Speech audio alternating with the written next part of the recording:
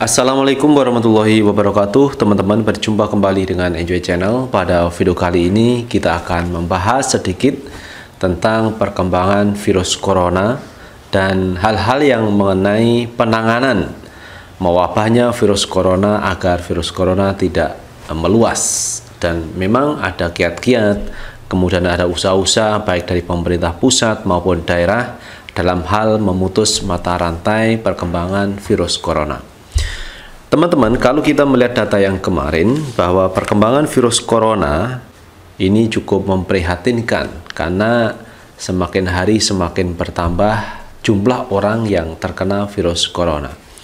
Kalau kita melihat data 30 Maret 2020 yang positif terkena virus corona yaitu 1414 orang, yang dirawat 1217, kemudian yang meninggal dunia ada 122 dan yang sembuh 75 orang. Dari data itu teman-teman, eh, secara nasional yang terbanyak ternyata ada di DKI Jakarta. DKI Jakarta ini banyak orang yang terpapar virus corona yang jumlahnya ada 698. Kemudian diusul Jawa Barat 180, Banten 128 dan Jawa Timur 91. Ini teman-teman eh, perkembangan virus corona. Nah, terkait virus corona ini eh, berbagai upaya dilakukan baik pusat maupun daerah dalam hal memutus mata rantai perkembangan virus corona. Nah, ada hal yang menarik teman-teman terkait usaha-usaha dari pemerintah pusat maupun daerah ini eh, kita akan menengok bagaimana Anies Baswedan menangani perkembangan virus corona ini ada usaha-usaha yang dilakukan oleh Anies, tetapi usaha-usaha itu ternyata uh, tidak sepaham, tidak sejalan dengan yang dilakukan oleh pemerintah pusat. Saya baca teman-teman dari berita kumparan.com. Ini ada judul yang cukup menarik, berbagai usaha Anies Baswedan tekan penyebaran virus corona yang dibatalkan pemerintah pusat. Jadi Anies Baswedan ini berusaha keras agar penyebaran virus corona ini bisa berhenti. Tetapi usaha Anies ini ternyata uh, tidak ada kesepahaman dan bahkan ini dibatalkan oleh pemerintah pusat. Ini saya baca dari kumparan.com teman-teman. Kita lihat beritanya teman-teman. Pemerintah terus melakukan berbagai upaya menekan penyebaran virus corona di Indonesia. Tapi tidak jarang kebijakan daerah dan pemerintah pusat berbeda misalnya Jakarta dan pemerintah pusat. Jadi usaha-usaha itu ada, tetapi ini kadang tidak sejalan antara daerah dan pusat. Daerah mintanya seperti ini, tapi pusat mintanya seperti ini. Ini yang terjadi di DKI Jakarta. Nah, kemudian teman-teman kita lihat Gubernur DKI Jakarta Anies Baswedan sempat mengeluarkan beberapa kebijakan hingga keinginan secara khusus kepada pemerintah untuk memutuskan sikap kepada Presiden Jokowi. Jadi Anies Baswedan ini berupaya untuk memutus mata rantai perkembangan virus corona. Sampai-sampai uh, Anies Baswedan ini uh, menyatakan atau meminta kepada pemerintah Jokowi bagaimana sikap Jokowi mengenai DKI Jakarta. Karena Anies Baswedan itu tidak bisa memutuskan sendiri teman-teman apa yang terjadi di DKI Jakarta walaupun DKI Jakarta ini dalam wilayah kekuasaannya. Tetapi mengenai hal virus corona ini memang uh, ada hal yang berbeda dalam menangani virus. Kita lihat saja teman-teman, ini ada tulisan bahwa berikut tiga upaya Anies menekan penyebaran virus corona yang dibatalkan pemerintah pusat. Pertama, pembatasan transportasi publik. Jadi Anies Baswedan ini membatasi jumlah transportasi publik. Ini adalah bagian dari upaya menekan penyebaran virus corona. Beritanya adalah Anies memutuskan membatasi secara ekstrim operasional transportasi umum, yakni MRT, LRT, Jakarta, dan Transjakarta Hal ini dilakukan untuk mengurangi secara drastis mobilisasi warga, sebab kerumunan di transportasi umum sangat rentan penularan virus corona. Jadi ini usaha Anies mengurangi operasional yaitu transportasi umum Karena di dalam transportasi umum ini kalau banyak orang berkumpul di sana, misalkan dalam satu bus ada sekitar 20 orang, maka ini sangat rentan terjadi penularan virus corona. Karena itu Anies Baswedan ini membatasi yaitu jumlah armada yang beroperasi untuk di wilayah Jakarta. Kita menyampaikan bahwa layanan kendaraan umum akan mengalami perubahan. Kita menurunkan secara ekstrim kapasitas pelayanan, kata Anies di Balai Kota Jakarta pada hari Minggu 15 Maret 2020. Kemudian kita lihat lagi teman-teman, operasional MRT, LRT Jakarta, dan Transjakarta dibatasi hanya dari pukul 06.00 sampai 18.00 WIB. Kapasitas penumpang setiap gerbong dan bus diturunkan drastis. Jadi kalau kita melihat di gerbong ini teman-teman atau di bus ini kita melihat banyak kursi yang kosong. Karena Anies menginginkan bahwa transportasi ini dibatasi baik jumlah maupun penumpang agar tidak terjadi penularan virus corona. Karena sebagaimana kita lihat bahwa Jakarta ini menduduki ranking pertama jumlah orang yang terkena virus corona yaitu 698. Nah, ini adalah salah satu upaya dari Anies Baswedan mengurangi yaitu penularan virus corona. Di hari pertama penerapan kebijakan itu yang terjadi justru sebaliknya. Antrian panjang terjadi di pintu masuk halte dan stasiun warga justru tak mengindahkan himbauan social distancing sebagai upaya menekan penularan virus corona. Di hari pertama, justru orang-orang yang antri ini semakin banyak dan tidak mengindahkan social distancing, yaitu tidak mengindahkan jaga jarak. Karena kemarin disampaikan bahwa jarak antara orang per orang ini minimal 1 meter. Kalau bisa lebih dari 1 meter. Jadi misalkan ada uh, yang lain batuk, kemudian batuknya ini tidak sempat ditutupi, maka tidak akan menjangkau orang yang lain. Jadi makanya itu perlu ada jarak 1 meter, social distancing. Dan lebih baiknya memang harus pakai masker teman-teman, agar virus yang ada di kita itu tidak menular kepada orang lain. Nah, antrian pertama di hari pertama ini panjang. Karena maklum biasanya yang pertama ini orang tidak uh, begitu memperhatikan. Tetapi sebenarnya ini bisa dicoba di hari kedua, ketiga. Oke, kita melihat teman-teman di hari pertama. Siang harinya, Senin, Presiden Jokowi meminta seluruh kepala daerah untuk tetap menyediakan transportasi publik kepada masyarakat. Transportasi publik tetap harus disediakan oleh pemerintah pusat dan pemerintah daerah dengan catatan meningkatkan tingkat kebersihan moda transportasi kata Jokowi di Istana Kepresidenan Jakarta pada hari Senin 16 Maret 2020. Jadi paginya ini diterapkan pengurangan transportasi kemudian e, muatan juga dikurangi tetapi siangnya Presiden Jokowi mengatakan bahwa kepala daerah harus menyediakan transportasi massal. Jadi ini kan ada perbedaan cara pandang menyelesaikan persoalan uh, penyebaran virus corona. Baik kereta api, bus, kota, MRT, LRT, transportasi yang penting bisa mengurangi tingkat kerumunan, mengurangi antrian, dan mengurangi tingkat kepadatan orang di moda transportasi itu, sehingga kita bisa menjaga jarak, tambah Jokowi. Jadi ini eh, sangat berbeda yang disampaikan oleh Anies Baswedan, mengurangi transportasi, mengurangi penumpang, ini Pak Jokowi malah pemerintah daerah harus menyediakan transportasi agar tidak terjadi antrian. Kalau kita ingat teman-teman pesan dari pemerintah kemarin kita diminta untuk uh, di rumah, jadi di rumah aja. Kalau tidak penting tidak usah keluar. Maka kalau logika ini uh, kemudian diimplementasikan di transportasi, seharusnya memang transportasi harus dikurangi. Karena banyak orang ini seharusnya anjuran pemerintah ini di rumah, otomatis orang yang keluar ini berkurang. Harusnya logika itu nyambung. Jadi pesan pemerintah kita di rumah saja, kemudian Anies e, mengatakan atau melaksanakan mengurangi transportasi sebenarnya ini inherent, sebenarnya ini nyambung. Tetapi menjadi tidak nyambung e, ketika orang di rumah saja ini sebagai pesan pemerintah, kemudian ditambah transportasi umum yang banyak, ya menjadi banyak lagi.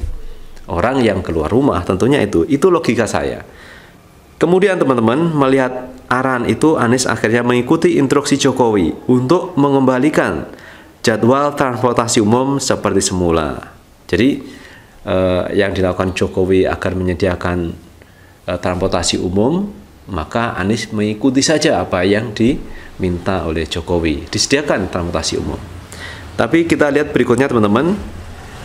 Sesuai arahan Pak Presiden terkait kendaraan umum massal untuk masyarakat, maka kami kembali menyelenggarakan dengan frekuensi tinggi untuk penyelenggaraan kendaraan umum di Jakarta. Dan akan kita laksanakan dengan social distancing secara disiplin, kata Anies Baswedan. Jadi intinya teman-teman, transportasi umum disediakan masa lagi, disediakan banyak lagi, tetapi Anies tetap menginginkan atau melaksanakan aturan bahwa social distancing ini harus lebih disiplin.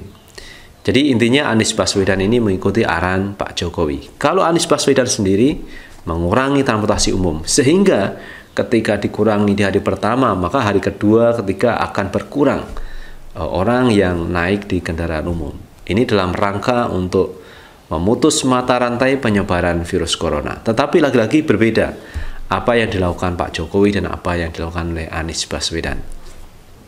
Nah, teman-teman, ketika langkah pertama Anies ini e, dibatalkan oleh pemerintah pusat terkait pengurangan moda transportasi, kali ini Anies melakukan kegiatan lagi dengan menginginkan Jakarta lockdown. Anies sangat ingin Jakarta menjadi daerah yang menerapkan lockdown atau karantina wilayah tapi Anies tak bisa memutuskan karena kewenangan di pemerintah pusat. Anies ingin bahwa Jakarta lockdown, tetapi Anies tidak punya kewenangan, teman-teman, untuk melockdown Jakarta. Karena urusan lockdown, urusan karantina ini adalah urusan pemerintah pusat atau urusan Presiden Jokowi. Dengan kondisi penyebaran virus corona yang semakin luas di Jakarta, Anies akhirnya mengirim surat secara resmi kepada Jokowi untuk memutuskan Jakarta lockdown. Ya, surat bernomor 143 tanggal 28 Maret 2020 diterima tanggal 29 Maret 2020 sore. Isinya minta pertimbangan pemberlakuan karantina wilayah, ujar Menko Polhukam Mahfud MD pada hari Senin 30 bulan Maret 2020. Jadi Anies mengirimkan surat kepada Presiden Jokowi Intinya minta Jakarta untuk di lockdown. Anies mengajukan lockdown di Jakarta dengan sejumlah pertimbangan. Ada beberapa faktor yang tetap bisa dijalankan selama karantina wilayah agar warga tetap terlayani kebutuhannya. Dan di dalam usulan kami, saya mengusulkan ada beberapa sektor yang harus tetap berkegiatan. Pertama adalah energi, yang kedua pangan, Kemudian yang ketiga kesehatan, yang keempat komunikasi, yang kelima keuangan. Itu yang kita pandang perlu untuk mendapat perhatian. Nah, walaupun karantina wilayah lockdown misalkan di Jakarta, tetapi ada kegiatan-kegiatan yang harus tetap masih bisa berjalan. Di antara transportasi, pangan, energi, keuangan ini harus tetap berjalan. Karena ini memang hal-hal yang sangat dibutuhkan oleh masyarakat. Karena pangan setiap orang ingin makan, maka kebutuhan pokok harus tersedia. Kemudian berita yang berikutnya, namun Jokowi tidak juga memutuskan Jakarta lockdown. Jokowi memilih menerapkan pembatasan sosial berskala besar PSBB untuk penanganan corona. Kebijakan ini bahkan didampingi dengan darurat sipil bila imbau itu tak digubris warga menetapkan tahapan baru perang melawan COVID-19 yaitu pembatasan skala besar dengan kekarantinaan kesehatan. Tulis Fajrul Rahman di Twitternya 30 Maret 2020. Hanya jika dalam keadaan sangat memburuk dapat menuju darurat sipil, ujar Fajrul Rahman. Jadi ini teman-teman bahwa eh, Anies Baswedan menginginkan Jakarta lockdown dan beliau mengirim surat kepada Presiden Jokowi. Tetapi sampai hari ini Jokowi tidak memutuskan bahwa Jakarta lockdown dan Jokowi justru ingin menerapkan e, pembatasan secara luas yaitu yang disebut dengan PSBB, pembatasan sosial berskala besar. Padahal teman-teman kalau kita melihat Undang-Undang Kesehatan nomor 6 tahun 2018 sebenarnya itu sudah ada undang-undangnya. Undang-undang kekarantinaan. Jadi kalau ada wabah yang cukup besar, penyakit yang luar biasa, maka Undang-Undang nomor 6 tahun 2018 ini sebenarnya bisa diterapkan. Tidak perlu darurat sipil karena kalau kita bicara darurat sipil, darurat militer ini hubungannya dengan keamanan. Karena ini masalah kesehatan, maka yang diperlukan adalah Undang-Undang Nomor 6 Tahun 2018 yang dulu juga pernah disahkan atau ditandatangani oleh Presiden Jokowi pada bulan Agustus 2018. Jadi Undang-Undang Nomor 6 ini sudah sangat jelas. Misalkan ada wabah yang seperti ini, maka undang-undang itu bisa diterapkan. Jadi tidak e, perlu undang-undang yang lain. Jadi undang-undang itu saja yang sudah diputuskan Pak Jokowi ini diterapkan, yaitu Undang-Undang Nomor 6 Tahun 2018 atau istilahnya Undang-Undang karantina ini bisa diterapkan karena mengingat perkembangan virus corona yang begitu luas. Tidak perlu darurat sipil atau darurat militer. Ini yang diperlukan adalah e, karantina, karantina isolasi atau lockdown. Dan kalau kita bicara lockdown, tentu eh, pangan kebutuhan dasarnya ini harus dipenuhi oleh pemerintah. Jadi masyarakat ini disuruh di rumah selama 14 hari, maka kebutuhannya harusnya ini eh, menjadi tanggung jawab pemerintah. Karena selama 14 hari tentunya kita tidak bisa bekerja. Kita disuruh di rumah saja. Dan lockdown ini juga eh, cukup berhasil diterapkan di Wuhan, China, kemudian di Malaysia dan beberapa negara. Kemudian teman-teman usaha Anies Baswedan yang akhirnya batal oleh pemerintah pusat yaitu stop operasional bus dari dan ke Jakarta. Anies melalui Dinas Perhubungan DKI Jakarta memutuskan menyetop semua operasional bus dari dan ke Jakarta. Hal ini dilakukan karena banyaknya warga yang mudik dari Jakarta tapi justru bisa memungkinkan menularkan ke warga di kampungnya. Alhasil, angka penularan corona di daerah semakin tinggi. Jadi ini cukup jelas teman-teman bahwa Anies ingin menyetop transportasi bus dari dan ke Jakarta. Jadi dari Jakarta ke daerah ini tidak bisa, dari daerah ke Jakarta juga tidak bisa. Ini keinginan Anies Baswedan.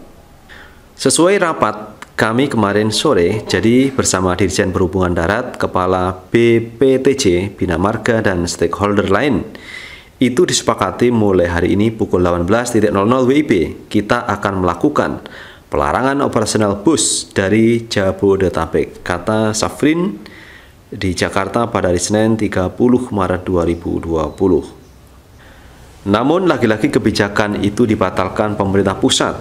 Menko Kemaritiman dan Investasi sekaligus PLT Menteri Perhubungan Lut Panjaitan membatalkan keputusan Pemprov DKI Jakarta. Jadi lagi-lagi ini keputusan Anies Baswedan dibatalkan oleh Lut Bismar Panjaitan.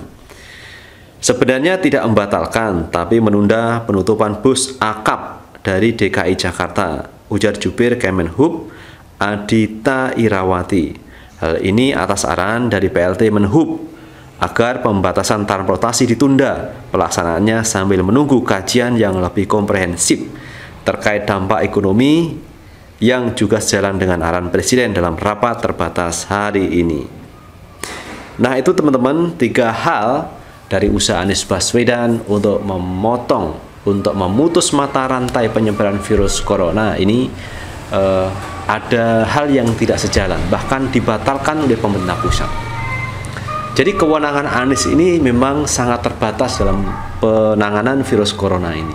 Karena dia punya kebijakan tetapi kebijakan ini kadang tidak sejalan dengan pemerintah pusat. Akhirnya Anies lah yang mengalah.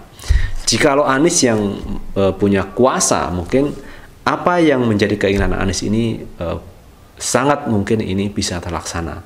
Contoh seandainya Anies Baswedan menjadi presiden, dia ingin menyetop bus yang dari Jakarta atau yang luar Jakarta masuk Jakarta ini sangat mungkin dilaksanakan. Kemudian lockdown Jakarta.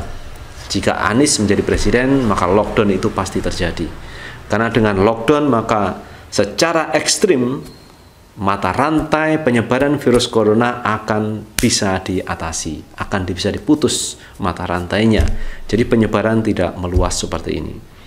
Kemudian yang pertama tadi tentang e, transportasi di Jakarta, mengurangi transportasi, kemudian mengurangi penumpang. Ini juga bisa dilaksanakan jika Anies Baswedan menjadi Presiden Republik Indonesia. Nah, teman-teman, ada orang yang bicara mungkin uh, Anies Baswedan tidak bisa melakukan apa yang diinginkan itu. Ada yang mengatakan ini bisa menjadi peluang Anies kalau semua bisa terlaksana untuk 2024. Nah, ini menarik juga karena orang politik mengatakan seperti itu.